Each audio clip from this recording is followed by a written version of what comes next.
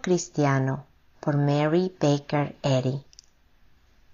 La teología escolástica elabora la proposición de que el mal es un factor del bien y que es esencial creer en la realidad del mal para tener un sentido cabal de la existencia del bien.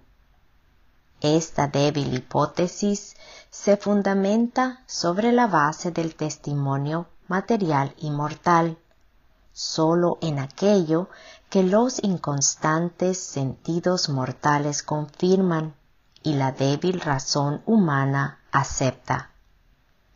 La ciencia del alma invierte esta proposición, anula el testimonio de los errados cinco sentidos y revela en una divinidad más clara la sola existencia del bien, la cual es la de Dios y su idea. Solo es menester admitir este postulado de la ciencia divina para tener la oportunidad de comprobar su exactitud y discernir más claramente el bien. Búsquese el vocablo anglosajón de Dios y se verá que significa el bien. Luego, defínase el bien como Dios y se verá que el bien es omnipotencia, es todopoderoso, llena todo el espacio, por ser omnipresente. De allí que no quede lugar ni poder para el mal. Deséchese, pues, del pensamiento el concepto mortal y material que contradice la omnipresencia y omnipotencia del bien. Admítanse únicamente los hechos inmortales que incluyen a estos. ¿Y dónde se verá o se sentirá el mal? ¿O se encontrará que su existencia es necesaria ya sea para el origen o para la finalidad del bien. Se insiste en que de su estado original de perfección, el hombre ha caído en la imperfección que requiere el mal para desarrollar el bien. Si admitiéramos esta vaga proposición, la ciencia del hombre jamás podría aprenderse pues para aprender la ciencia empezamos con la declaración correcta, con la armonía y su principio.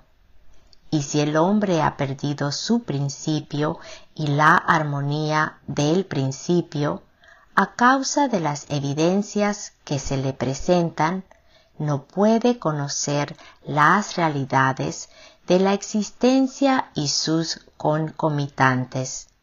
Por lo tanto, para él el mal es tan real y eterno como el bien, Dios. Esta horrible decepción es el árbitro e imperio del mal, que el bien, Dios, una vez comprendido, forzosamente destruye.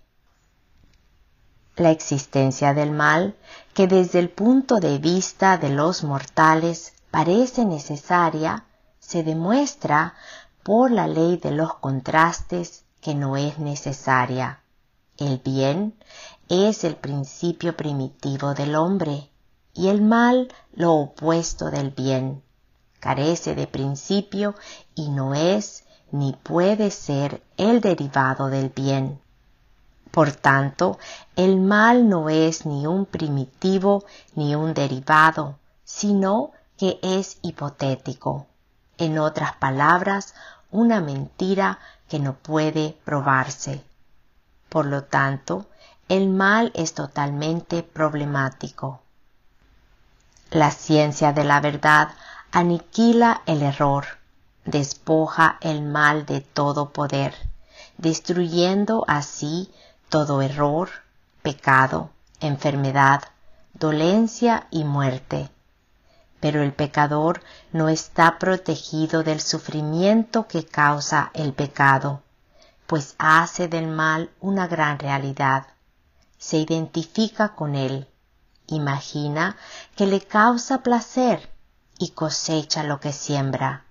Por tanto, el pecador tiene que soportar los efectos de su propia ilusión hasta que despierte de ella.